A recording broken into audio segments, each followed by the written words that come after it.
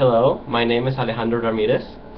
A couple of days ago, my friend Lisa Orlova gave me the idea of joining her in a YouTube channel called Beauty and the Chess Geek.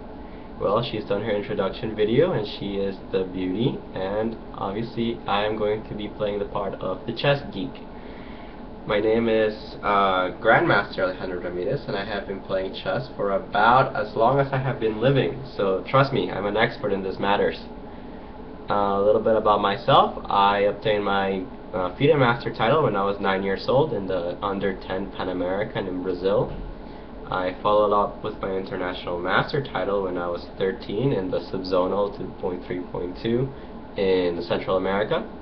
And then I obtained my last Grandmaster norm in November of 2003 when I was 15 years old. At the time, that was one of the youngest Grandmasters to have ever achieved the title. Of course, now there are many young players with 14 and 15 years that have achieved a younger GM title. But at the time, it was a considerable achievement. Since then I've done a lot of different things. I've been traveling around the world playing chess.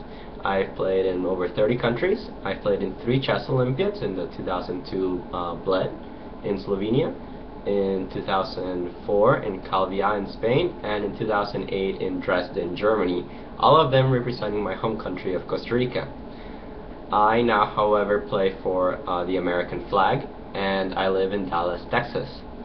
I'm pretty excited to be part of this venture with Lisa, and we'll see how it goes. We'll be planning on doing interviews to top players, on covering some of the top tournaments in the world, and uh, allowing uh, players that are not exactly professionals a better access and a better understanding of chess in hopefully a very entertaining manner. Anyways, this is my introduction video, and I hope to be making many, many others alongside my colleague, and we'll see you around.